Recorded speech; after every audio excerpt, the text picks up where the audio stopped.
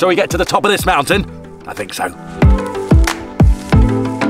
The mountain behind me is actually the route to the UAE's highest public point, and today we're going to climb it.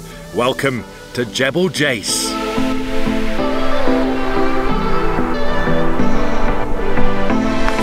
Now this hike is 4.3 kilometers to the summit and it's classed as a moderate hike as well, but I must warn you, the first stretch for the first 25, 30 minutes or so is a steep climb up to the first rest point.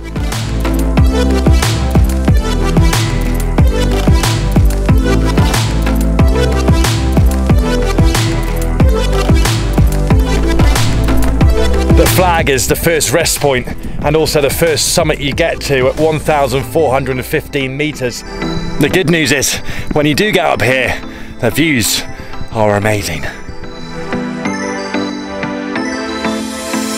So from the first UAE flag to the final climb to the summit, it's pretty straightforward actually. Mostly undulating paths that weave their way around the mountains. And you'll come across some information boards as well and some great spots to stop for a photo and also, if you're lucky, some goats. The paths on this hike are well laid out actually, they're pretty easy to follow. They're signposted too, you'll be following the GAF Summit 7 signs and also you'll see these paint markings, sort of maroon, white and yellow dotted along the path as well.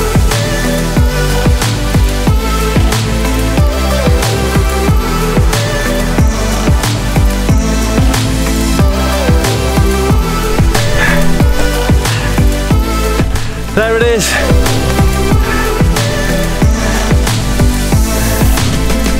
And we've made it. The south summit of Jebel Jais, the highest public point in the UAE, 1,640 meters.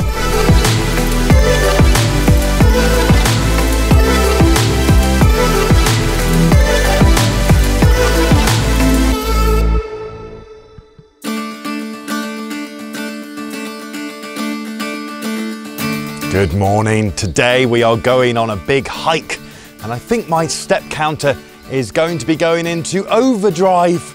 Look at this. I'm hiking the Wadi Shawka Trail in Ras Al Khaimah.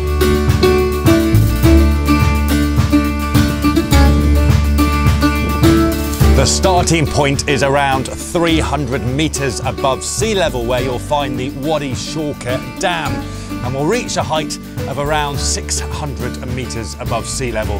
First port of call, get these steps done.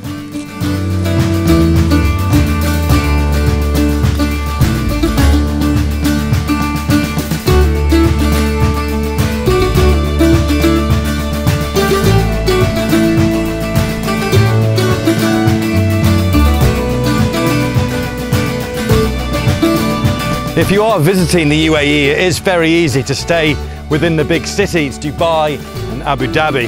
But just an hour outside of those big urban hubs, you are greeted with incredible views.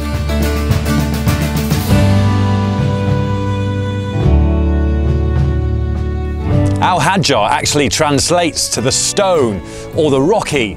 So I guess you could say these are the Middle East's Rocky Mountains.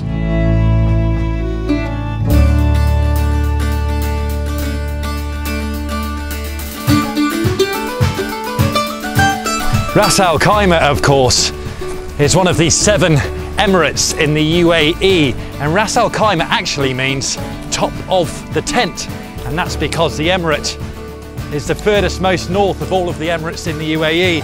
It's at the top of the country.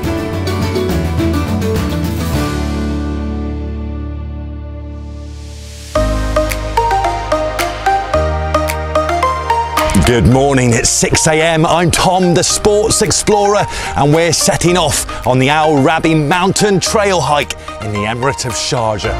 Now, the first thing you need to know is the long-term parking, which is where you need to park for this hike, is at the bottom of a steep tarmac road. You'll then need to climb up that steep tarmac road, and it is steep, just to reach the starting point. Eventually you'll reach the official start point, the Al Rabi Tower.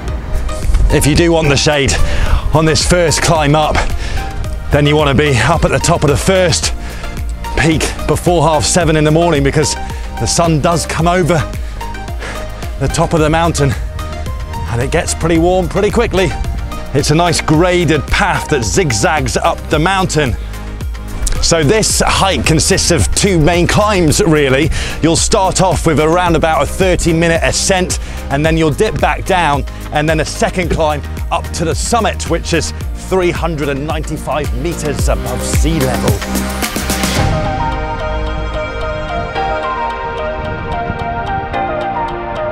The first climb to the sort of first peak is a hard slog. Don't underestimate it. Oh dear, but when you do get to the top, it's a lovely place for a bite to eat and to get your breath back before you tackle the summit.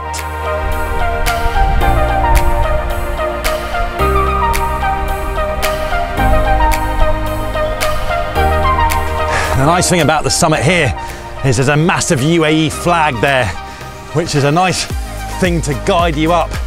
But also it just gives the summit a bit of gravitas, doesn't it?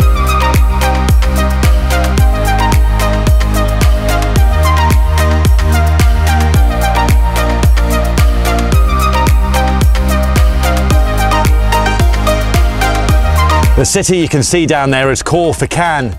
The name translates to Creek of Two Jaws, reflecting the city's location in a crescent-shaped bay